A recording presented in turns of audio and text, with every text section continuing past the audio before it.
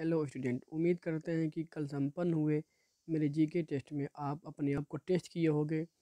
और अगर इस जीके टेस्ट से आपको अगर यह लगा होगा कि हाँ अब आपको और कितना पढ़ना चाहिए, क्या पढ़ना चाहिए, क्या आपके सब्जेक्ट वीक थे, अगर यह चीज़ आपके अंदर आती है तो मैं समझूँगा कि मेरा यह जीके टेस्ट लेना सफल हो गया।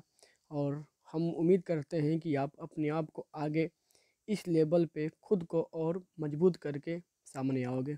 धन्यवाद। और आप लोगों का आंसर की कल आ जाएगा और आप लोगों का रिज़ल्ट फ्राइडे के आसपास निकल जाएगा। धन्यवाद।